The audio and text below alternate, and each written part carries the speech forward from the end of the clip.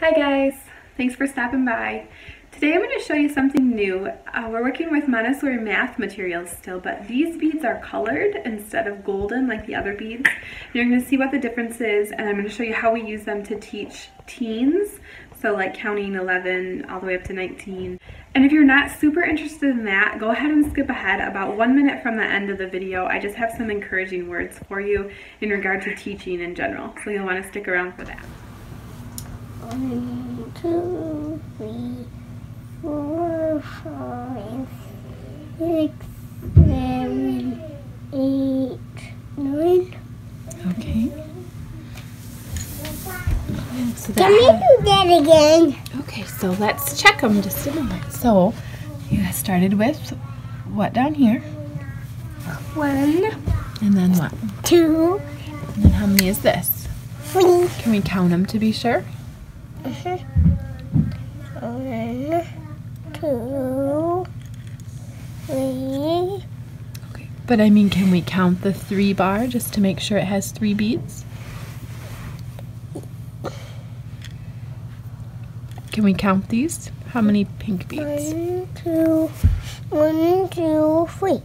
Okay. One, two, three, four, six, seven, eight. Eight. Okay. So the next one we need to have nine, right? Mm-hmm. One, two, nine, ten.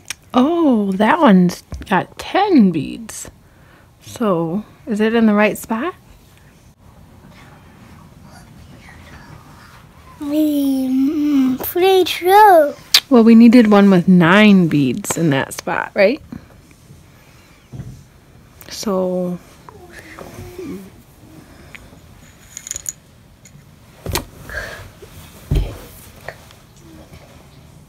One, two, three, four, five, six, seven, eight, nine. oh, that one has nine beads? Yeah. I must have got mixed up. Oh, okay.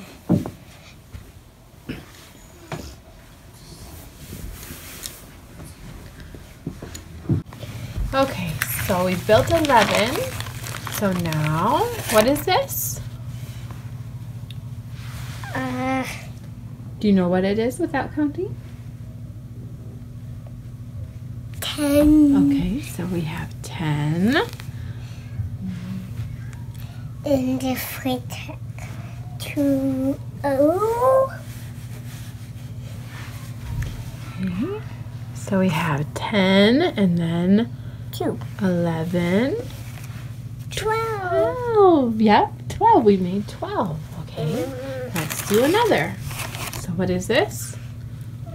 ten 10.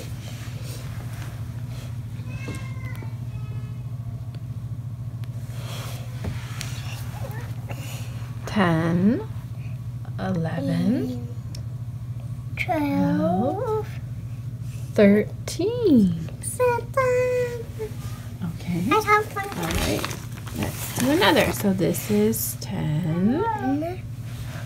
uh, Let's count them. Eleven, eleven twelve nineteen, teen nineteen. 19. So the bar of nine makes nineteen. what can we be doing now Yep, let's do the last one and then we'll be done. We're gonna see if there's any more teens or if it turns into something else. Let's see. So you have another 10 bar. Now let's grab that 10 bar.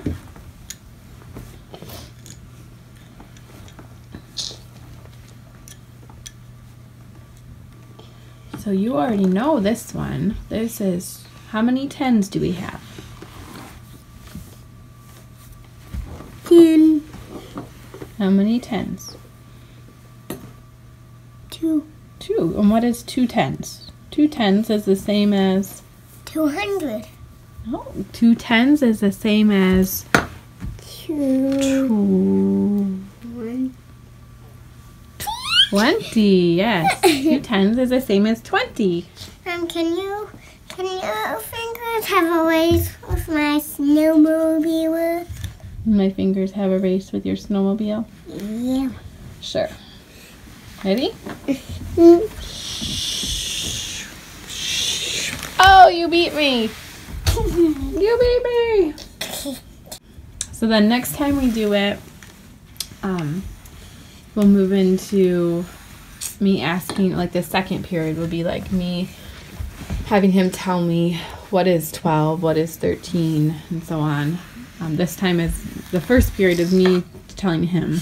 Next time I'll ask him to tell me where each one is and count them. And then the third period would be um, me just picking one and asking him what it is, and he's supposed to tell me.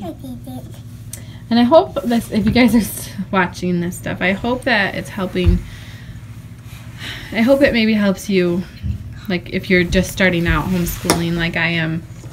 Um, one of the things that I've already had to learn is that it'll feel sometimes like they aren't getting it, or like you know, you're teaching a fish that's flopping around on the floor. huh? Sometimes you act like that, but at the end of the day, they really do get it, and he'll probably like do something. Um, you know, like maybe we'll be driving down the road and he'll count telephone poles and say, "Mom, there was 13 telephone poles," something like that. And those things always seem to happen, and it really validates that they are learning and they are getting it. And usually, when you present it, is when they will act the most like they don't get it. But um, if you keep going, You'll get there, right? Do you like math? Yeah.